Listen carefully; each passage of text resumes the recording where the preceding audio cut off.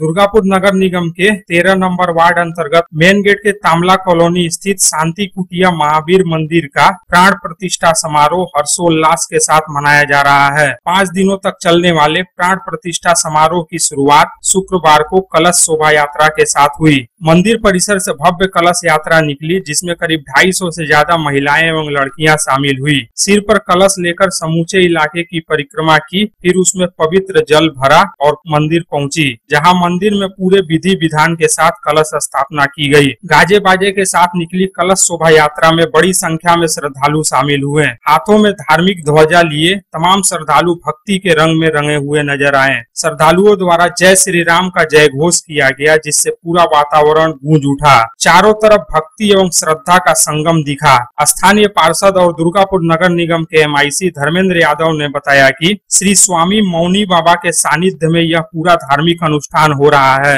वाराणसी से श्री रमानाथ मिश्र पधारे हैं। मंदिर में हर दिन कथा प्रवचन एवं महायज्ञ का भी आयोजन किया गया है। इस अनुष्ठान का समापन आगामी 29 जनवरी को भंडारे के साथ होगा। उन्होंने कहा कि इस आयोजन को सफल बनाने में इस क्षेत्र के तमाम लोगों, खास तौर पर युवाओं की सक्रिय भागीदारी रही है। दूसरी तरफ़ प्राण प्रतिष्ठा समारोह और महायज्ञ को लेकर मंदिर को आकर्षक ढंग से सजाया गया है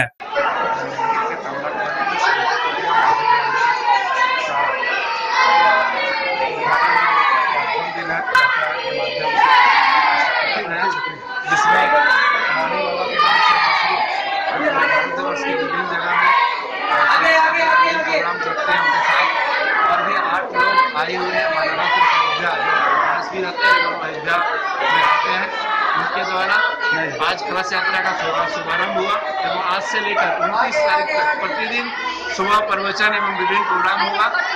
और उनतीस तारीख को यह ऑफिशियली समाप्त होगा भंडारा के माध्यम से। मौनी बाबा जी के नेतृत्व में उनके साथ आए हुए जितने साधु संत महान महात्मा हैं, उनके द्वारा संपन्न होगा। उसमें इलाके के सभी लोगों का पूर्ण सहयोग एवं साथ मिला है।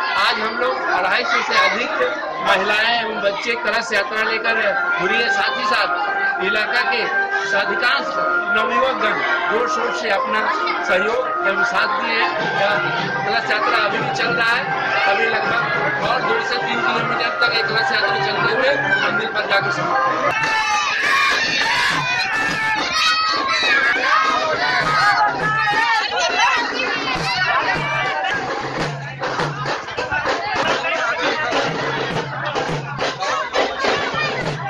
दुर्गापुर से राम बाबू यादव की रिपोर्ट पब्लिक टाइम्स।